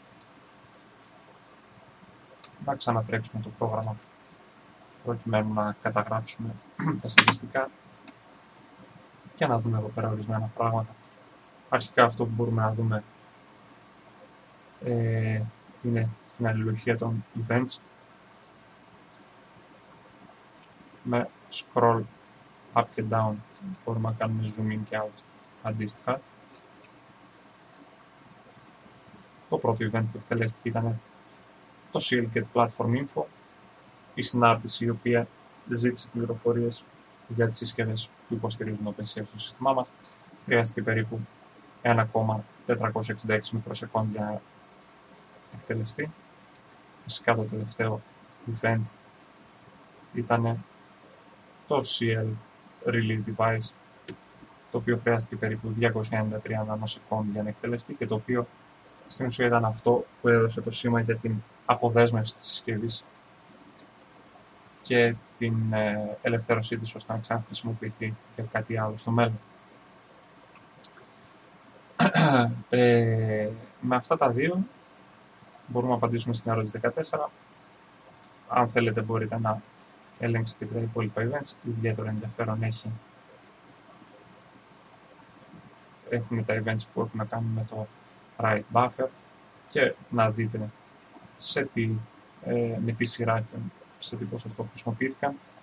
Ε, την ερώτηση 15 μπορούμε να την απαντήσουμε αν πάμε εδώ πέρα σε αυτό το drop down menu και επιλέξουμε να δούμε ε, το top 10 του Data Transfer Summary. Βλέπουμε εδώ πέρα ότι έχουμε δύο command τύπου write, δηλαδή ήταν οι δύο ε, εντολές, οι δύο διαταγές που στείλανε τους δύο πίνακες, τον Χ και τον Ψ στην GPU. Αν δούμε το μέγεθος του Χ και του Ψ, μπορούμε εύκολα να καταλάβουμε γιατί το transfer size είναι 64 MB. Ε, η διάρκεια κάθε εγγραφής ήταν 16 δευτερόλεπτα και 13 δευτερόλεπτα αντίστοιχα. Φυσικά αυτό που μπορούμε να δούμε είναι ότι ε, πόσο αυξημένο είναι το transfer rate από τη μια, από τη μια μεταφορά στην άλλη. Και ο λόγος είναι απλός ότι ε, στην δεύτερη μεταφορά η κάρτα γραφικών μπορούμε να πούμε εντός εισαγωγικών ότι είχε ήδη ζεσταθεί και είχε ήδη ε, ενεργοποιηθεί ώστε να κάνει μεγάλες μεταφορές μνήμης πάνω από τον διάβλο PCI Express. η τρίτη, ε, το τρίτο memory ε, action τέλος πάντων ήταν, και το τελευταίο ήταν το read buffer, δηλαδή η διαμεταγωγή όλων των δεδομένων όλου του πίνακα που υπολογίστηκε στην κάρτα γραφικών πίσω στον host. Χρειάστηκε περίπου 9 μιλισεκόντ για να γίνει αυτό, ήταν εξίσου 64 MB, ενώ το transfer rate ήταν περίπου 7 GB το δευτερόλεπτο.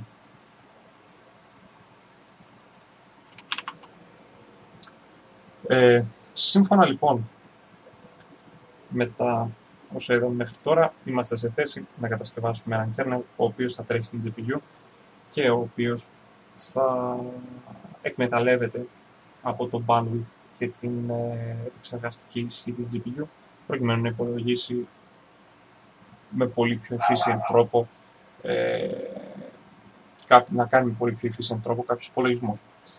Ένα βασικό συστατικό της OpenCL, για να προχωρήσουμε στο ένατο και τελευταίο section του εργαστηρίου, ένα βασικό στοιχείο της OpenCL είναι η ετερογένεια. Το γεγονός δηλαδή ότι μπορεί να δουλέψει ταυτόχρονα σε μεγάλο έργο συσκευών οι οποίες μπορεί να είναι πολύ διαφορετικές μεταξύ τους, με σχεδόν όμως μηδενικές παρεμβάσει στον κώδικα. Θεωρητικά δηλαδή, και αυτό που είπαμε πιο πριν, ε, μπορούμε να διαμοιράσουμε μια δουλειά ανάμεσα στην GPU και στη CPU, ε, προκειμένου αυτή να γίνει πιο γρήγορα. Ένα καλό παράδειγμα, το οποίο θα μπορούσαμε να το δούμε να λειτουργεί αυτή τη στιγμή, ήταν ε, ο υπολογισμός του γινωμένου δύο πινάκων οι οποίοι έχουν ε, πάρα πολλές εγγραφές μέσα. Για παράδειγμα, είδαμε ότι για πολύ μεγάλα νούμερα, 12.288 επί 12.288 ή 16.536 επί 16.536, ε, δεν μπορούμε να έχουμε τόσο μεγάλο efficiency και αυτό ε, οφείλεται στο ότι ε, οι πίνακες γίνονται πάρα πολύ μεγάλοι σε μέγεθος ε, και είναι πάρα πολύ κοστοβόρο να μετακινούμε τόσο μεγάλους πίνακες ε, από και προς την ε, κάρτα γραφικών, η οποία έχει πολύ μικρή μνήμη σε σχέση με το μέγεθός τους. Ε, αυτό που θα μπορούσαμε να κάνουμε θα ήταν σε αυτές τις περιπτώσεις να σπάμε τους πίνακες στα δύο και να αναθέτουμε το ένα κομμάτι να υπολογίζεται στη CPU και το άλλο κομμάτι να υπολογίζεται στην GPU. Αυτό θα προσπαθήσουμε να κάνουμε αυτή τη στιγμή Δυστυχώς, επειδή για ακόμα μία φορά ο κώδικας είναι αρκετά εκτεταμένος, θα, δεν θα μπω στη διαδικασία να τον γράψω, να τον μικρολογήσω. Απλά θα φροντίσω να κάνω ε, copy-paste πάλι ε, τον τροποποιημένο κώδικα και να συζητήσουμε ορισμένα πράγματα πάνω σε αυτόν. Για τον λόγο αυτό λοιπόν έχω ήδη δημιουργήσει ένα αρχείο το οποίο θα κάνω πάντα αυτή τη στιγμή και το οποίο είναι το heterogeneous.cpp μπορούμε να του ρίξουμε μια ματιά. Μοιάζει πάρα πολύ με το, με το ότι φτιάξαμε μέχρι σήμερα, μέχρι τώρα. Ε, η μοναδική διαφορά που έχει είναι στο ότι χρησιμοποιούμε, προκειμένου να χρησιμοποιήσουμε δύο συσκευές, έχουμε χρησιμοποιήσει ε, τα πάντα διπλούν. ε, δύο platforms, δύο devices, δύο contexts, δύο κομμάτια στα οποία κάνουμε allocation mneming στην, ε, στην εξωτερική συσκευή. Για να τα δούμε όλα αυτά τα κομμάτια, εδώ πέρα μπορούμε να δούμε και ένα υπόλοιμα από κάποιους ελέγχους. Ε, προκειμένου λοιπόν να δούμε αυτά τα κομμάτια, ξεκινάμε πάλι από εδώ πέρα, όπου ρωτάμε για δύο platforms, το ένα το οποίο θα περιλαμβάνει GPU και το άλλο που θα περιλαμβάνει τη CPU. Ρωτάμε πάλι για δύο devices, επιλέγουμε το πρώτο device από κάθε platform. Δημιουργούμε πάλι δύο contexts. Το ένα το, στο ένα δίνουμε τη default device, το άλλο δίνουμε τη secondary device, έτσι όπως γνωρίσαμε ε, πιο πάνω. Θα πρέπει εδώ πέρα να αλλάξουμε λίγο το όνομα του αρχείου που καλούμε για kernel.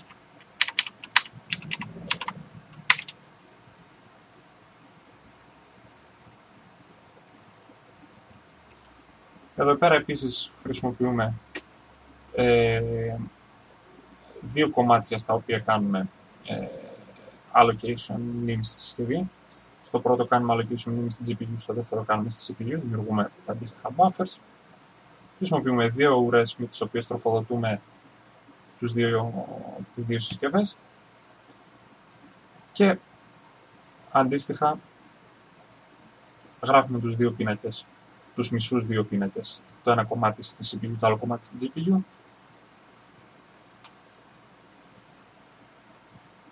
τρέχουμε δύο kernels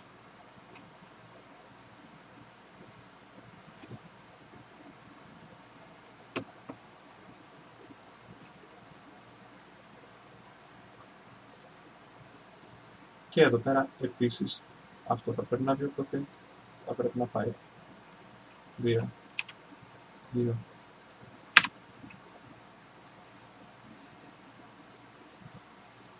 Ε, τρέχουμε δύο φορές, ε, βάζουμε δύο φορές ένα απέναντι στην ουρά στην κάθε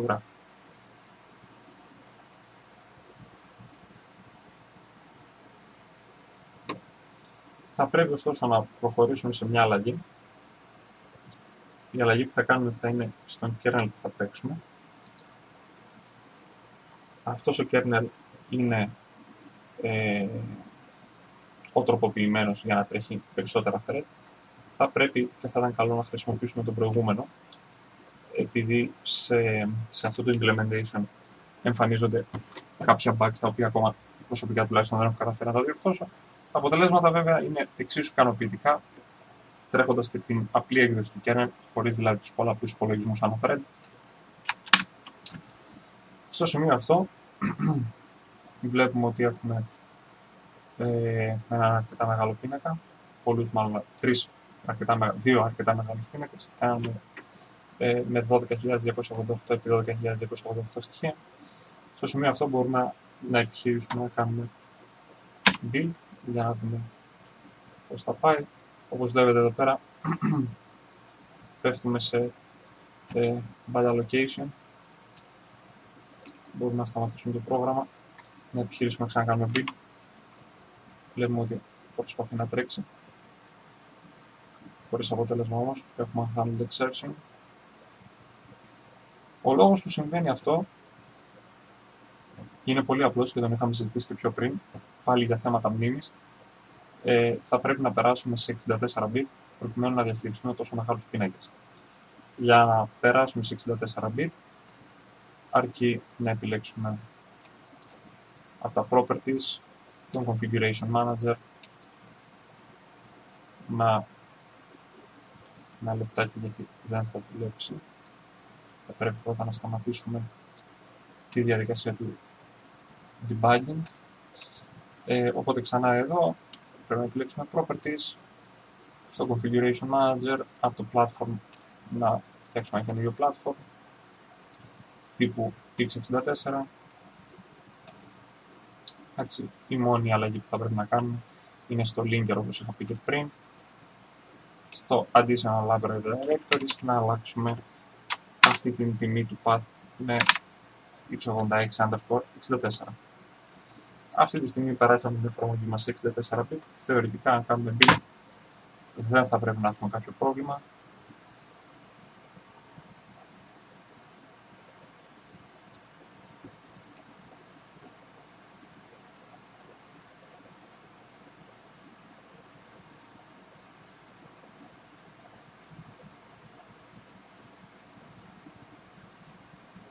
και όντως μοιάζει να μην έχουμε κανένα απολύτως πρόβλημα, ο kernel εκτελείται σε ένα χρονικό διάστημα 1193 μιλισεκόντ, περίπου με 1,2 δευτερόλεπτα. Επιστρέφοντας πίσω στον κωδικά μας, μπορούμε να δούμε ένα μικρό λάθος που είχαμε κάνει. Στο CLND range, αντί να ήταν resize δια 2, έπρεπε να είναι resize.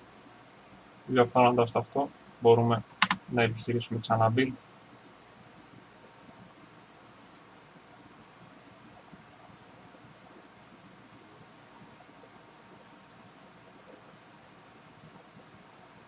Και να δούμε ότι τελικά ο kernel μας χρειάζεται περίπου 121 δευτερόλεπτα για να εκτελεστεί τόσο στην CPU όσο και στην GPU. Θα πρέπει στο σημείο αυτό να σημειώσουμε ότι ε, ο διαμοιρασμός της δουλειάς γίνεται με στατικό τρόπο. Θα μπορούσε να το χαρακτηρίσει κάποιος, κάποιος με μπακάλικο τρόπο, καθώς έχουμε στείλει το μισό πίνακα να υπολογίζεται στην ε, GPU και τον άλλο μισό να υπολογίζεται στη CPU. Ε, ως εκ τούτου, βλέπουμε εδώ πέρα ότι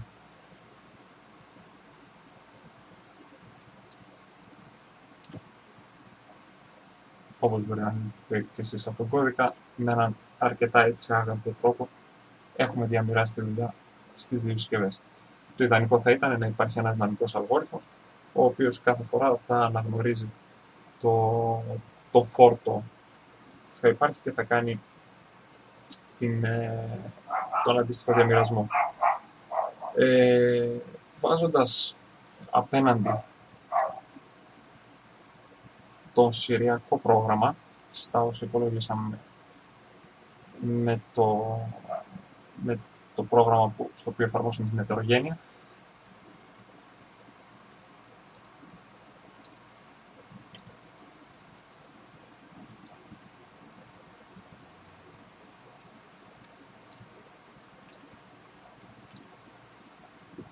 Μπορούμε να ξανακάνουμε build.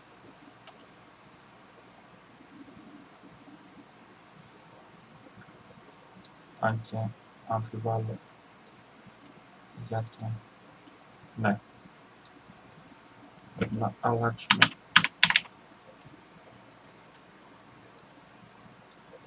τον αριθμό των γραμμών και των στυλών. Κάνοντας λοιπόν build πάλι, θα δούμε πόσο χρόνο θα πάρει το Συριακό.